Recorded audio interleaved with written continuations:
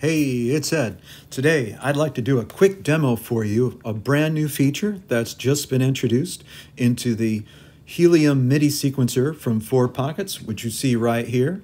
I've got it loaded up in an AUM project, and what I'd like to show you is how you can use that chord sequence, that chord track, and get that into a project and transform your chords and any set of MIDI chords that you might get your hands on into something that you might use in a project or a song. So let's dive right in. Just to give you a preview of what it sounds like, I've got a very simple project loaded up here. I've got simply Helium, which has handling the chords. I've got a copy of Euclidean, which I'm using as sort of an arpeggiator. I've got ArtBud here, which is handling the bass notes. And then for instruments, I've got Chameleon P uh, piano loaded. I've got a warm piano for the bass piano notes. And I've got String Lab over here from nice warm string pad sounds. Let's give it a spin.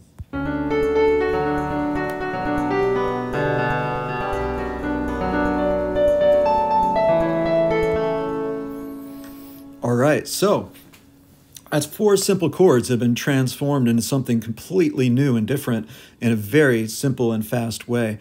First, let me show you how to get those chords into Helium. It's very easy to do. So let's maximize this real quick. So in the upper right corner, there's a media bay. And in that media bay, if you click on here and click on clips, you'll notice there are 12 folders. I've got a few more that I've added myself, but there's 12 folders built in, which if you click on those and drill down, you'll see there's folders below there. And each of those there's a progression folder, and inside of those, some subfolders. Uh, let me click on the minor one, and you'll notice that there's a number of uh, clips here, which are actually chord progressions. These are numbered in a music theory notation. Um, but I'm going to show you uh, how you can preview those chords or your chords or any MIDI progressions that you might import very easily. And so it really doesn't matter what this shows. You can quickly preview it to get an idea of what that sounds like. So let me show you how that works. So I'm going to go to track two over here, which I've got set up in this project just to go to the piano. So it's going to allow me to preview those sounds. I'm going to turn off the sync for a moment here. I'm going to go over and to one of these chord progressions, like maybe this one right here. If you click uh, off to the right and click and hold, it's going to play that clip, that MIDI clip. I can click on this one, do the same thing.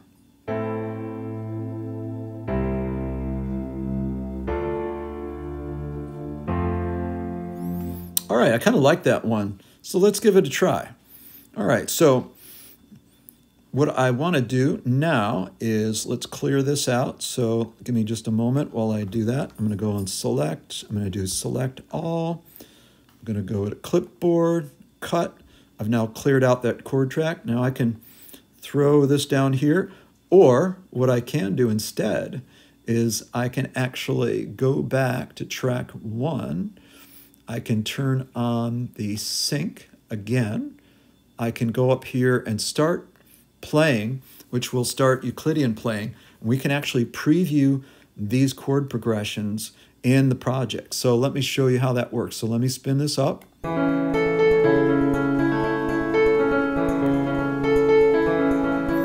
So that's just Euclidean playing by itself. Now, if I start up that again and I go over to this chord and click on that and I click play, you'll notice this is going to uh, this is going to change over here. Let me turn the sync off. Rewind that. All right, I'm going to hit play. It's going to start up Euclidean. Now I'm going to click on here and hold.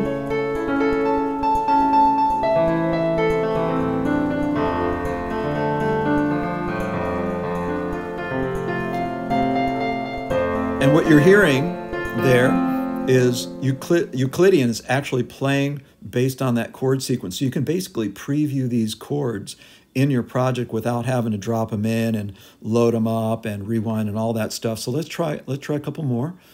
Start that up again. Let's try this one here. Notice play clicks and there it goes.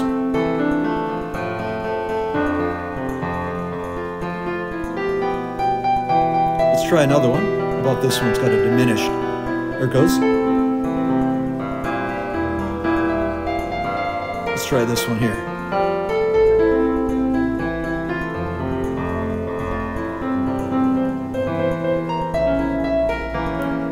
All right, there's some crazy stuff in there. But, you know, you've got chords of your own you can bring in, you can make it sound any way you want. But I think that's a fun way to just experiment with your chord progressions and without even having to do much, just drop them right into uh, Helium. Click play on this and it's going to preview it for you right in the project itself. And very easy to do. So let's say you've decided on the chord progression you'd like to drop in. Now this could be one of the built-in clips or it could be one of your own. However, there, there are a couple things to look out for, which I'll point out for you. Uh, first of all, you're going to have to import it. If you're going to be bringing in clips, you can click on this little files icon here. You can then import uh, from the files app. You can import an entire folder into the files app, uh, but that will allow you to bring your, your MIDI clip or MIDI file into the clips folder, and then you can work with those files just as I have here. Uh, the other thing to note is that if if if you want to bring in clips, they need to be in a certain format. So let me show you how this works. If you have a clip already, you can drag, click, hold, drag, drop it down there, release, and you'll notice that these chords now magically appear because these are in the correct format. I'll show you uh, what these actually look like. I don't know if that's the same one, but this is the format that the clips have to be imported or your MIDI files have to be in in order for Helium to recognize the chords. You've got to have uh, the notes all together in a single bar or sequence of bars and then another set of notes for the next chord, another set of notes for the next chord, and so on. So you don't want to have these things crossing the lines and, and notes interspersed like that. You need to have chord progressions that are simply uh, a chord, another chord, another chord, and so forth. They don't all have to be the same length, they can vary, but they need to be simply, you know, chord notes all together without gaps, without spaces in each segment, and it'll convert them perfectly. It might convert other things that aren't quite uh, aligning to that, but uh, the results may vary. But it should be pretty easy to get things into that format and import them. So that's how you would get those chord tracks imported into your project in Helium. Now I'd like to shift your attention back to Euclidean to show you how I'm using that with this project. So now there's all sorts of things that um, need to be set up in Helium for this chord progression and chord track to work. I'm going to link to the videos in the description, like I said. So this is just a little preview of how this works. I want to do a quick demo. So let me show you also uh, a few tricks in Euclidean in order to get this to work in case you want to give it a try or you have Euclidean. So there's two things I want to point your attention to. Right here, there's a little keyboard symbol. If I click that, you'll notice it actually said MIDI chord recognition off. Now, what we want is on. So if I click that again, you'll actually see that it's it now says MIDI chord recognition is on. It flashes by fast, but this is surrounded by a blue line, which means it's active. That means it's going to take chords that are being sent to it and then use the sequencer to play those chords and create patterns from them. The other thing you have to do in Euclidean is go into settings, and there's a setting called transpose fixed notes. Uh, that needs to be turned on for this kind of scenario. By default, that setting is off. Normally, it's going to use these notes right here to play in the sequencer. In this case, since we're feeding it chords, we want that transpose turned on so that it's going to just use the chords and the chord notes that are being fed to it, not what's in the sequencer itself. But all these other settings can be tweaked to your heart's content. Um, and you can take, take those chords and transform them uh, in many, many different ways. So, and that's what I want to show you next. So let's keep that chord sequence that we had, and let's play around with a little bit in Euclidean. So let's go back to rewind. Let's start playing this again. Uh, however, let me jump back and show you something that you will need to do in order to use this yourself. So let me just take a step back, go to chord demos. Let me, I'm going to load up a session that I previously created uh, here. It's going to load, I'm going to go down to controller. You'll see there's now a chord track loaded below, pretty lengthy one. And I need to do a couple things here to make sure this is set up. I got the sync on. I have, I don't have a loop, so since I want this to continue playing while I'm doing this demo, I'm going to have to loop this over and over. So it's going to just keep playing that chord pattern over and over and over again. So that's my loop. I've defined that on this upper by clicking and holding and selecting. You can see on the ruler there. Next thing you do, click loop.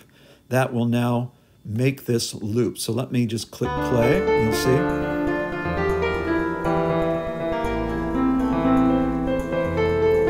So that's basically what it's going to do. It's going to just keep looping when it reaches in it. It'll start all back over again over there.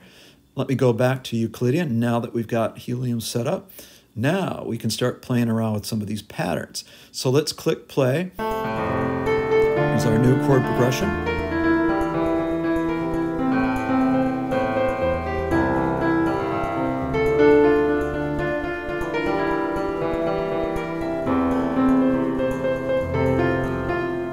Now, what I'd like to show you is uh, what you can do to change that up in Euclidean. So I've got a couple patterns that I've loaded up. Let me start playing again, and it'll show you how different patterns sound. They're going to sound fairly similar, but it'll give you an idea. Let's go to pattern two.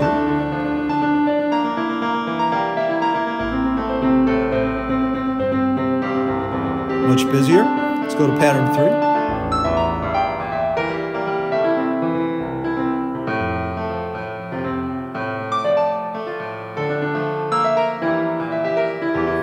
Try pattern four.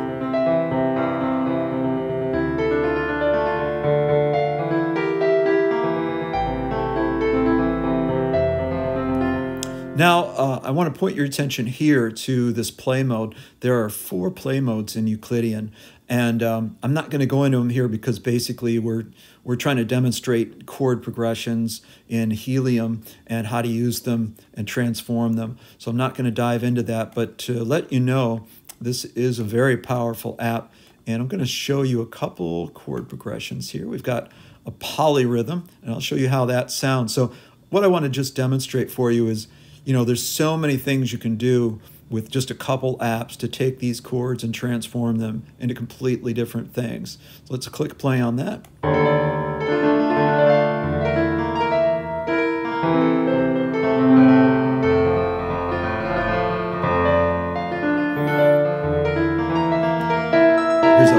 Tempo, multiple tempos.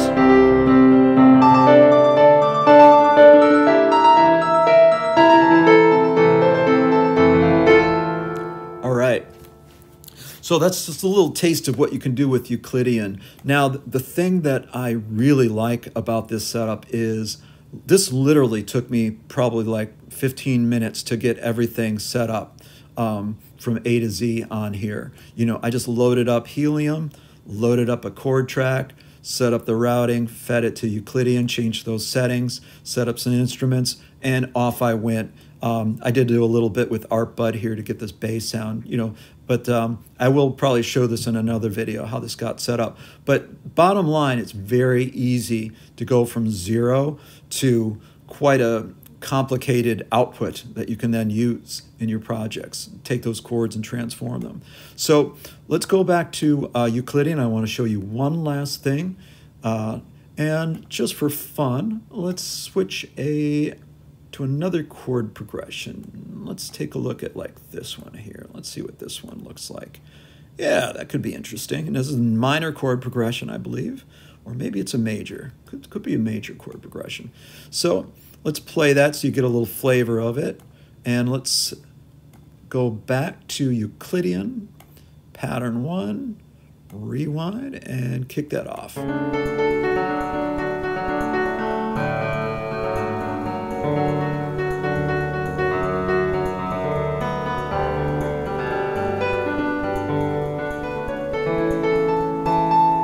So quite a stately sound, I would say, on that. Now let's say I had that chord pattern, just to show you back here, here's my chord pattern, right? And um, let's say I wanted to start from scratch, right? Well, I can go to Euclidean here, I can go right in here, I can go in and just into a brand new pattern, which has nothing in it whatsoever.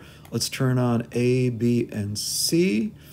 And we're just going to leave it in Euclidean mode, and we're going to use this randomize feature right here, which is a lot of fun. So I'm going to click randomize right here, and this will let you choose different things that we want to randomize. There's so many options here. I can't go in them all. I'm going to show you a quick demo, however, of what it can do with some very, very simple settings. We're going to randomize notes. We're going to randomize velocity, probability, uh, repeats, which will throw in some repeated notes. And uh, first, we're going to try steps and sequence. There's different modes. That's the most basic. We're going to put the complexity at medium. And we're going to spin the wheel. And now this has given us a brand new pattern to work with. Let's see what we get with that chord progression. All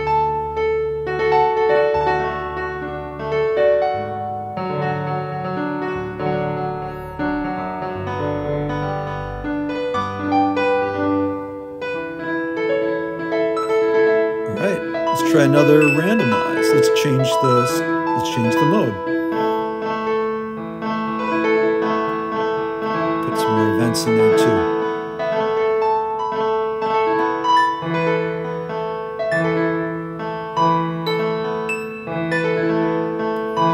Let's try steps and walk.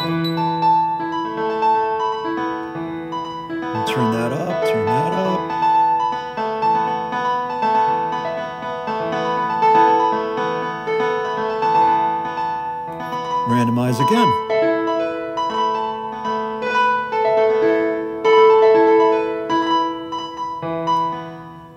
All right, so hopefully that gives you an idea of some of the things you can do with the chord track within Helium. Now this is just to start. I mean, there are endless possibilities of what you can do with this app. So uh, this is just a taste of what you can do. I hope it's helpful, and thank you for watching. Take care.